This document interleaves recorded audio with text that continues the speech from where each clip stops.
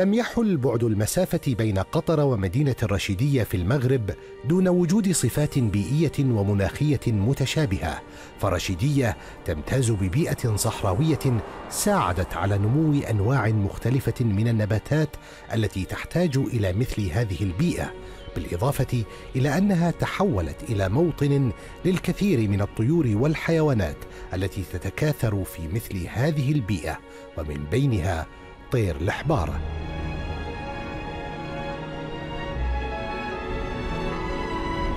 الأمر الذي جعل دولة قطر تساهم في المحافظة على الطيور والحيوانات المهددة بالانقراض وإعادة توطينها وكذلك المحافظة على الحياة الفطرية.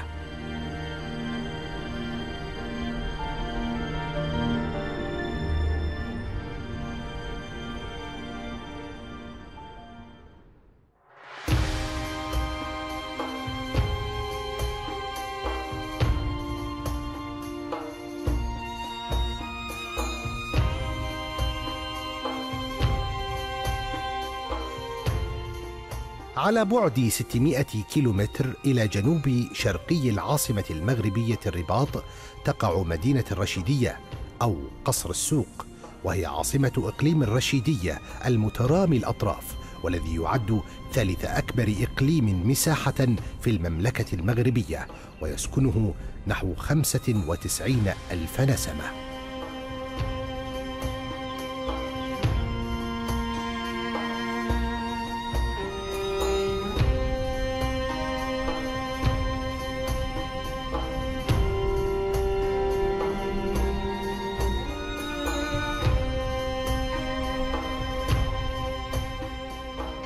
يمتاز إقليم الرشيدية باحتوائه على أكبر واحات النخيل في إفريقيا مثل واحة زيز وكذلك واحات منطقة تافيلات.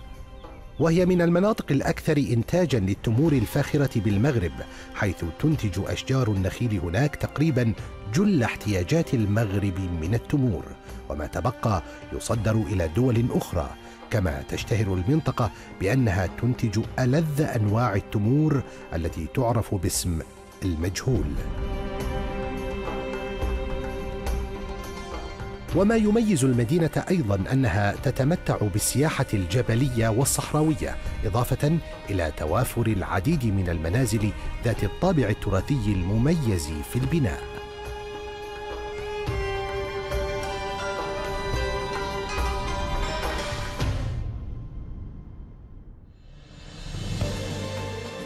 وفي المدينة سد كبير للمياه أنشئ عام 1969 وسمي بسد الحسن الداخل وقد شيد السد لتأمين مياه الشرب في المدينة على وجه الخصوص ولمصلحة الإقليم زراعيا حيث يبلغ طول السد أربعة كيلومترات بسعة إجمالية تقدر ب 390 مليون مترا مكعبا من الماء.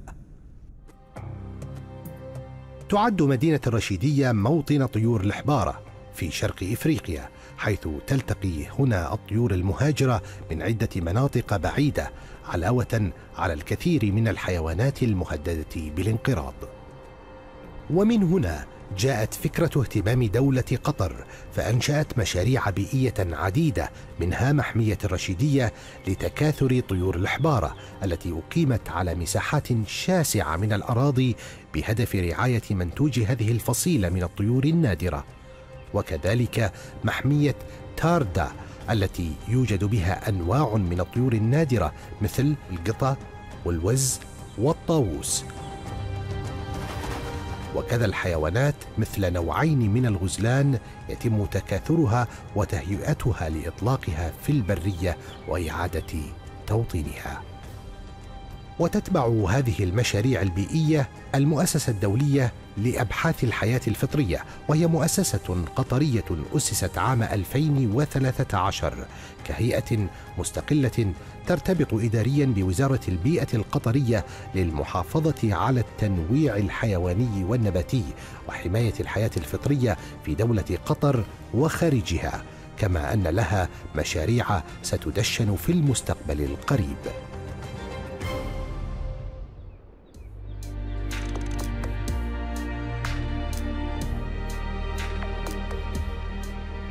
تستوطن الإحبارة في السهول المفتوحة والمناطق شبه الصحراوية في العالم إلا أن بعض الأنواع الإفريقية تنتشر في مناطق تكثر فيها الأشجار الشوكية الكثيفة.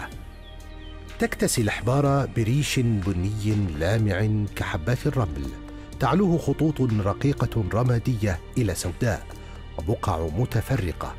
أما بطن وصدر الطائر فأبيضان ويميل لون الرقبة إلى الرمادي.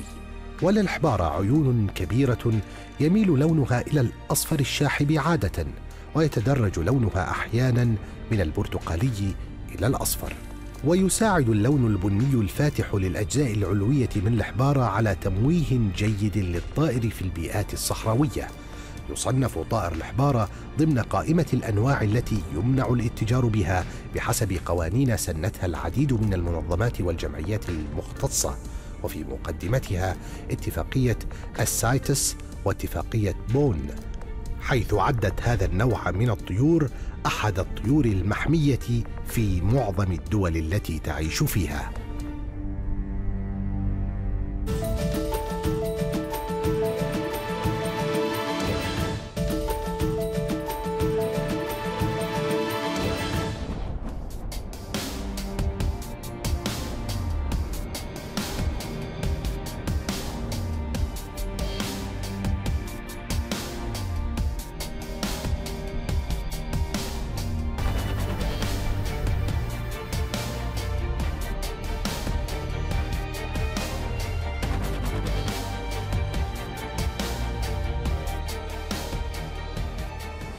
وخلال العقدين الماضيين وقبل عام 2004 تحديدا شهدت أعداد الحبارة تناقصا ملحوظا. إلا أن الحال تغير عقب هذا التاريخ فلقد بدأت أعداده تتزايد والفضل في ذلك يرجع إلى الاهتمام الكبير بهذا النوع من الطيور وخاصة في محمية الرشيدية التي ترعاها المؤسسة القطرية الدولية لأبحاث الحياة الفطرية. وأيضا بفضل الجهود التي تقدمها المندوبية السامية المغربية للمياه والغابات التي تنسق مع الجانب القطري بفرض رقابة على عملية الصيد العشوائي لهذا الطائر وتنظيم ذلك عبر آلية معينة.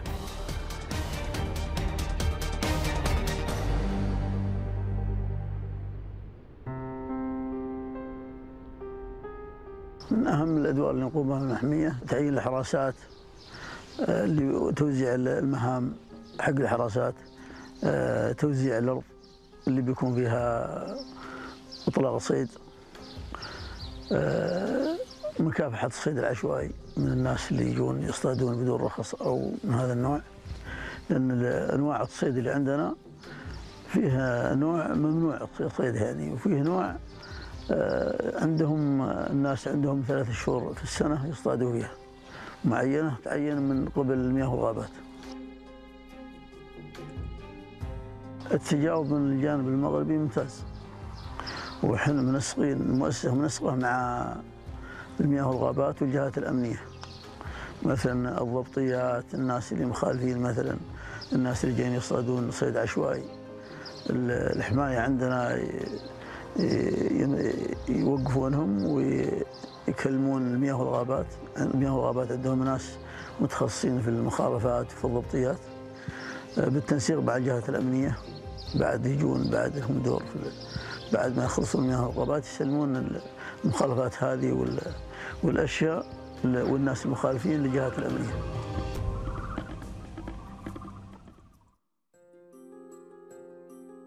يبذل مشروع تربية وتكاثر الإحبار في محمية الرشيدية جهودا جبارة لحماية هذا النوع من الطيور إذ يطلق المشروع حوالي أكثر من 1300 طير في السنة إلى البراري وذلك لدعم أعدادها في البيئة وحمايتها من الانقراض. البروفيسور روبرت فولجين مدير المحمية سيشرح لنا كيف تجري عملية التكاثر والإطلاق لطيور الحبارة طيور الحبارة تتكاثر بطريقة مختلفة عن كثير من الطيور حيث يحتاج ذكر الحبارة إلى عملية تهيج استعراضي خاص وحساس وتكون هذه الوضعية أيضا لأنثى الحبارة لتختار الذكر الذي تراه مناسبا كي يكون أبا لصغارها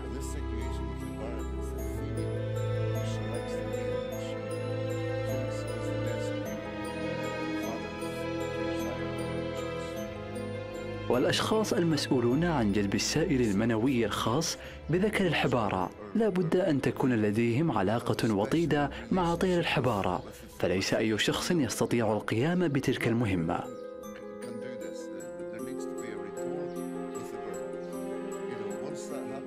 بعد ذلك يتم تجميع السائل المنوي ويؤخذ إلى المختبر. بعدها تتم عملية تخصيب الإناث لتضع البيض ويسمى ذلك بعملية الإباضة حينها تضع أنثى الحبارة بيضها في أماكن مختلفة.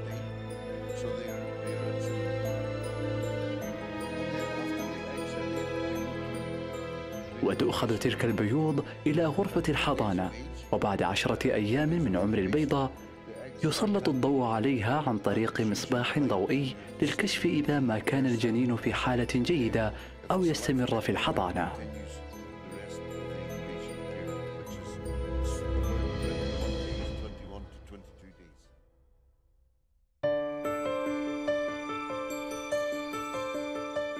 وحين الانتهاء من تلك العمليات المتسلسلة بنجاح تتم هنا عملية التفريخ بمجموع 23 يوما لكل عملية ويتم فصل الذكور عن الإناث في أقفاص منفصلة لأن لكل جنس عملية تغذية خاصة مع بداية موسم التكاثر من خلال مواصفات ومقاييس مسبقة يضعها الخبراء والعاملون في هذا المجال قبل موسم وفترة التكاثر.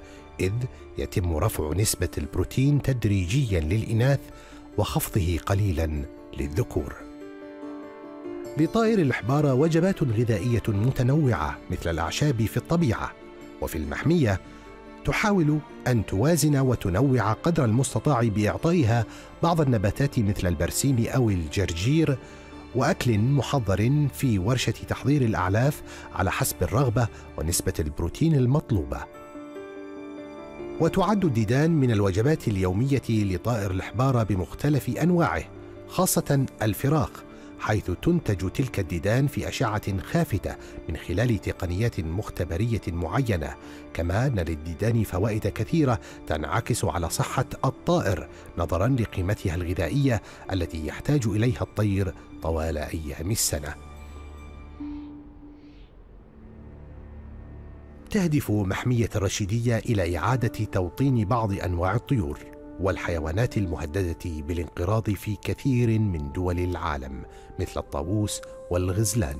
فالمحمية توفر الحماية لهذه الأنواع وتهيئة البيئة الطبيعية الملائمة والمشابهة لبيئتها الأصلية وذلك كمرحلة أولية بغرض اندماج هذه الأنواع في الطبيعة لا سيما طير الحبارة. الذي له مكانته الخاصة عند القطريين.